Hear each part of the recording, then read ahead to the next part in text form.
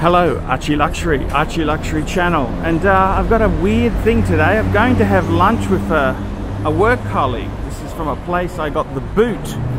Yep, this is my good friends at KBR. And uh, I'm going to have lunch with a, uh, a colleague. And uh, it's interesting. I want to get some goss, see how bad those fuckers have gone. I heard they really had hard times. They've gone from seven floors to two floors and uh, I love I love to hear about corporate misery. I love it absolutely love my my ounce of uh, corporate misery. So uh, yeah that's that's what I'm doing today. I'm going for some lunch and uh, I just want to get some goss and, and hear about how bad things have gone and who got the sack and who got rissoled and you know bit of bit of misery never hurt anyone.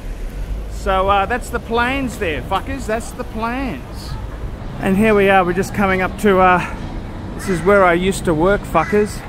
The KBR building, 199 Grey Street.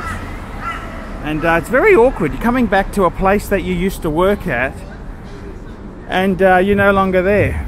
It's a very, very, very strange sort of feeling.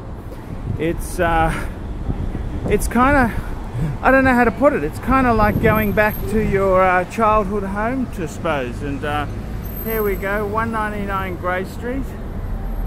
It's uh, it's. Yep, this is the place I remember. I remember this place.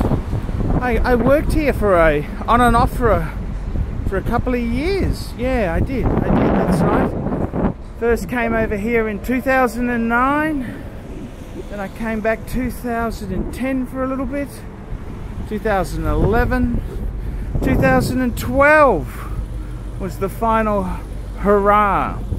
And uh, oh, they've changed the station. Look at this.